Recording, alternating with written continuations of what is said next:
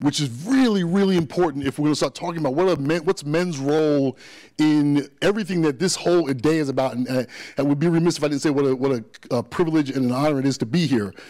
Um, I'm reminded of a bell hooks quote that is actually the only person I quote in my book. And at the time I started writing my book, I wasn't even that down on, on bell hooks, didn't understand bell hooks. And the quote is that, I know, right? Um, pay attention, brother, pay attention. is, is that the first, first act of violence that patriarchy expects of men is not, of males, is not violence against women. It's, it's an act of psychic self-mutilation that patriarchy asks of men, of boys, excuse me. And if boys don't do it to themselves, we will enact rituals that do it for them. And sports is one of those rituals why everything that you heard Dawn talking about, why it's so difficult to gain that respect, so difficult to get that, that platform, is because men still think that sports is the dominion of men.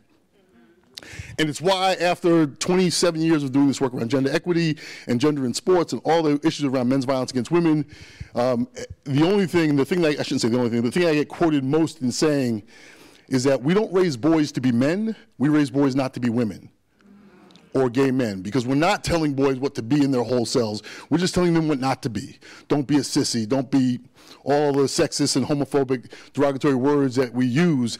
That is the ritual.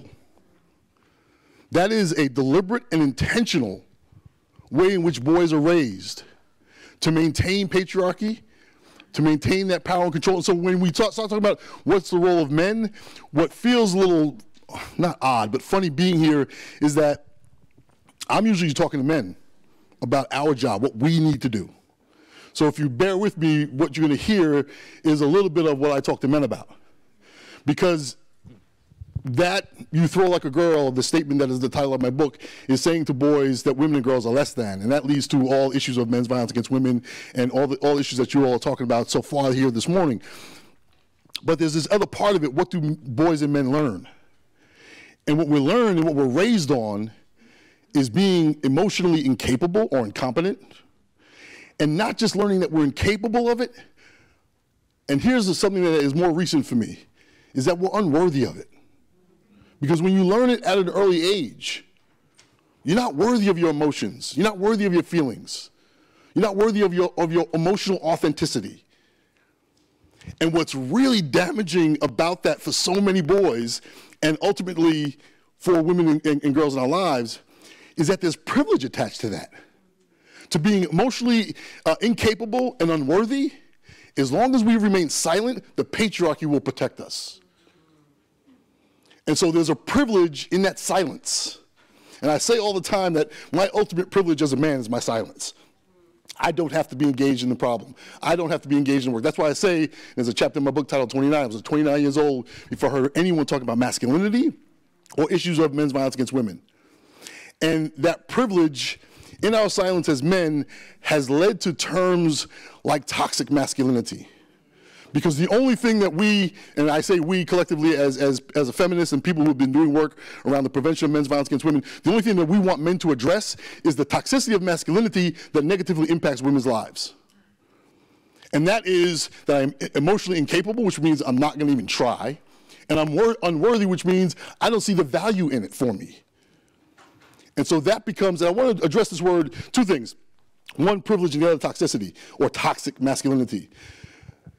I look at privilege this way. I don't look at privilege as I have something that I have to give up to make space for you so that you can, that's, that's the privilege that we want to fight about. That's why black people, uh, excuse me, white people get angry if you talk about white privilege. People of means will get angry if you talk about economic privilege. White, white folks will get upset if you talk about, because I didn't work for it and do anything for it. When I look at privilege is what does it keep us from learning?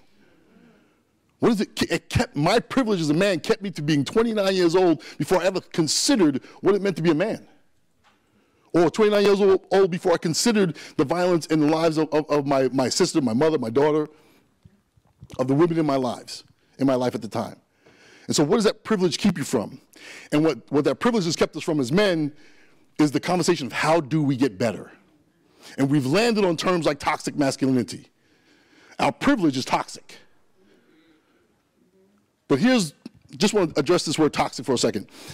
Before we talked about toxic in terms of masculinity or relationships, we talked about toxic in terms of waste. You remove waste Waste is not even good with garbage. We can't do that. If we're going to ask men to be engaged in this, we have to replace it with something. We have to give them something. We can't just extract them. We can't just extract. And I and I, I spent some time talking to young men on college campus recently, and none of them talked about the word masculinity in any positive terms. And so I talk about aspirational masculinity. What do I want for you? All of the work we've been doing around men's violence against women has been what do we want men to do for women? To protect? But what do we want for men? What do we want for our boys? That they live in a whole, in their whole, so talk about authenticity, in the whole loving, caring, vulnerable, passive, submissive. That's not my feminine side. That is my wholeness as a man. So what aspirational masculinity is, is it changes the conversation from not at what we're asking men to do for women, what are we asking men to do for ourselves? And how are we as adult men going to help lead the next generation? If I don't see myself as worthy of the qualities that I typically would consider to be women's qualities, being loving, caring, vulnerable, emotional, if I don't see myself as worthy of those qualities, how can I trust or be led by women who exemplify that? And so, as we talk, start thinking about in the workplace and different environments where we need this kinds of social change, it's not just working with our young boys coming up, but it's also how do we talk to men in the workplace? How do we talk to men in other environments that make them understand that we are all, but we know the statistics. We know all the statistics, excuse me, the statistics about women-led businesses. They do better. We know that. We know that because what you all bring to the table is expanding the, the, the, the conversation, not shrinking it. And so we have to show what's in it for men in that conversation. And I and I was talking to um, a group of people when I published my book, and I said, being a whole man, being that authentic, whole, aspirational masculinity is about being vulnerable and caring. And someone said, well, is it being passive and submissive? That's being a real man. I said, aren't you submissive to your God? And then as I got a little bit older and I taught my 16 year old daughter how to drive, talk about being vulnerable, and submissive, and, and all those qualities that make you a better person. And so we have to welcome men into that conversation. And I know that's not a, uh, a conversation that we're used to having of how do we make spaces for men to have these conversations, but it is critically important if we're going to move this discussion that we get away from terms like toxic masculinity and more, more start moving more towards aspirational masculinity so that we're doing this in a positive and proactive way.